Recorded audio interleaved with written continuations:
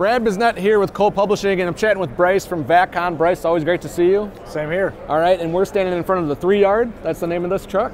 Yes. So what this is a brand new non-CDL three yard. So what that means is is you don't need a commercial driver's license to operate this truck because it's under 26,000 GVW for Okay. weight.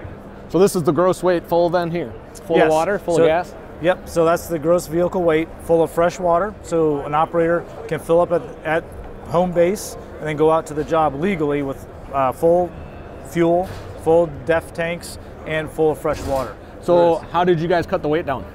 We lightened up our five foot extendable boom, made it more robust because it's all aluminum with the uh, Kanaflex hose at the end of it.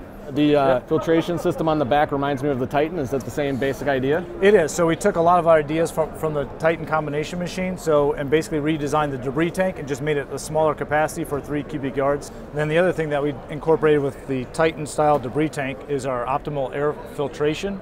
So we have a cyclone separator that filters out all the large particles, and then we have a final stage filter that's going to uh, separate all your small particulate as well too Okay. that might carry over. And then with the debris tank also, it gives you a dump height of 60 inches so you can dump into a roll-off container as well too. Debris tank and just made it a smaller capacity for three cubic yards of material, but you still have your automatic vacuum breaker door system, so you can turn the vacuum on and off at the at the push of a button for operator safety. And even though that this truck is a small package, it still gives you the performance of, a big truck. You have a 16-inch um, blow, positive displacement blower, and then your water system is 30 gallons a minute at 3,000 psi for optimal cleaning. So this machine also has two handgun hose reels, one for high pressure for hydro excavation, so you can actually use this combination truck for potholing and daylighting, and then you have your low pressure handgun for normal rinsing down, rinsing off the truck, all your tools, the debris tank at the end of the day. Little footprint, big power. And how long are we talking on this unit? So the overall length is 28 feet, and then what we did is also concentrate on keeping the height down to 11 feet 5 inches. Okay.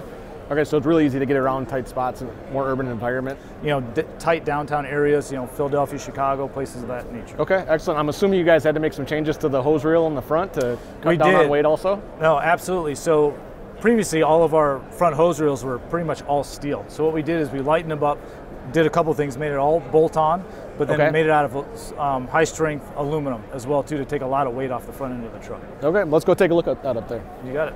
So what we have here is our uh, brand new aluminum designed hose reel for, for lightweight, max capacity of 500 feet of three quarter inch hose for cleaning the sewer line, Okay. manual level wind guide, and then you have 180 degree rotation with the flip of a handle so you can place this hose reel in any Excellent. direction you need to. And then we have our ergonomic operator control station right here. So you have pay in and pay out for your rodder hose. Okay. And then you have your boom joystick here for up, down, left, right, in and out. And then you have your simple control system. So you have your um, boom and vacuum, increase and decrease up here. And then you also have your water system accessories along with your lights. So I can turn all my safety lighting on from right here outside of the cab, as well as control the uh, pressure and flow of my water pump. And then down below we have our cold weather winter recirculation hookup for the rodder hose. So you can just take your rodder hose and hook it up to the valve down below, and that will Oh. recirculate your water Yeah, back sure. to the water tanks while you're driving down the road for cold weather applications. So you guys have, I mean, you've lightened the load, so you don't need a CDL, and the, the usability for the operator seems extremely easy to me. Where can someone go for more information on the three yard? Well, they can go to our website at www.vac-con.com or give us a call at 904 284 4200. Fantastic. Thanks, Bryce. Great to see you. Thank you. you.